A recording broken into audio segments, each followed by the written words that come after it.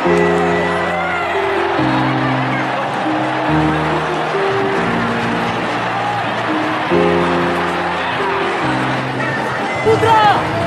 ada peluang. Gol!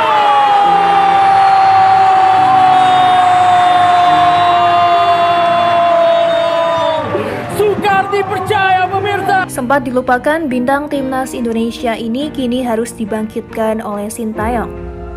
Seperti yang diketahui sebelumnya bahwa Sintayong telah resmi memanggil 27 pemain untuk persiapan FIFA Matchday. Laga FIFA Matchday itu sendiri akan berlangsung pada tanggal 24 dan 27 Januari 2022 melawan sang tetangga Timor Leste. Seperti biasa, Sintayong memilih para pemain muda dalam skuad timnas Indonesia. Beberapa di antaranya bahkan ada yang sangat muda, seperti Ronaldo Kuate dan Marcelino Ferdinand yang masih berusia belasan tahun. Selain para pemain muda, ke-27 pemain yang dipanggil Sintayong rupanya juga memanggil bintang timnas Indonesia yang sempat dilupakan, Supriyadi. Supriyadi memiliki kecepatan sebagai gelandang serang dan penyerang sayap. Ia mampu mengeksploitasi sisi kanan serangan. Ia juga fasih bermain sebagai gelandang, tapi memang kecepatan Supriyadi di lini sayap tak terhindarkan. Kecepatan itulah yang menjadikan Supriyadi bisa dijadikan senjata dalam aksi counter attack.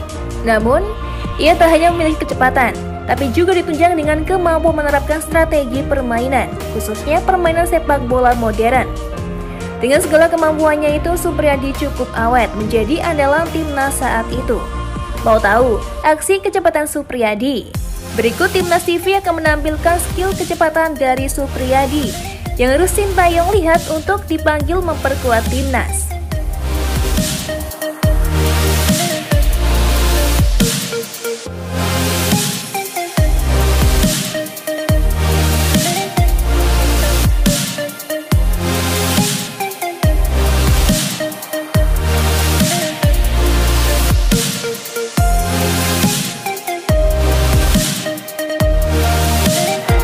Lihat, masih belum selesai.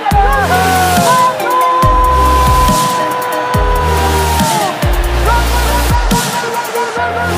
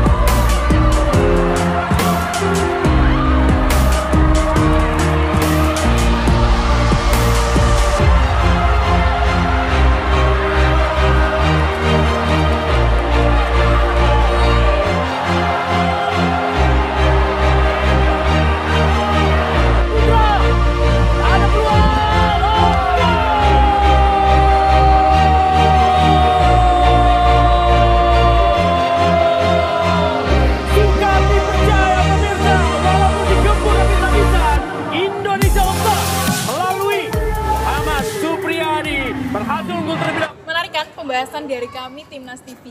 Masih banyak banget yang Cantika akan ulas tentunya dari sudut pandang lainnya. Jangan ke mana-mana, pantengin terus Timnas TV.